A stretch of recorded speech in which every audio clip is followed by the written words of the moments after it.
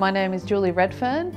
I am a Heart Foundation future leader, a researcher here at Westmead Clinical School at the University of Sydney and the research that I do is really about people who haven't even had a heart attack or haven't had heart disease, children who, who might be at risk of heart events, all the way through to people who've had very serious heart attacks and trying to help those people, but also encompassing hospital care, what happens when people visit their GP, and basically in their family environment and how they continue to live their lives after they've had a heart attack.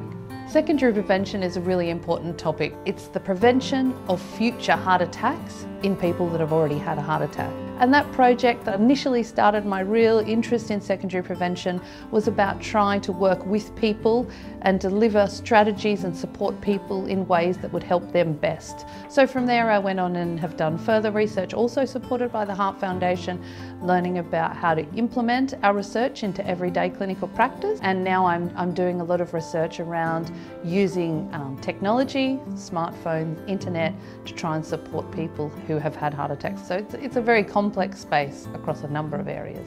I really hope that our research will stop people having heart attacks uh, in this country and all over the world in the future. And, and then for those that have had a heart attack, give them a significantly lower risk of having another one.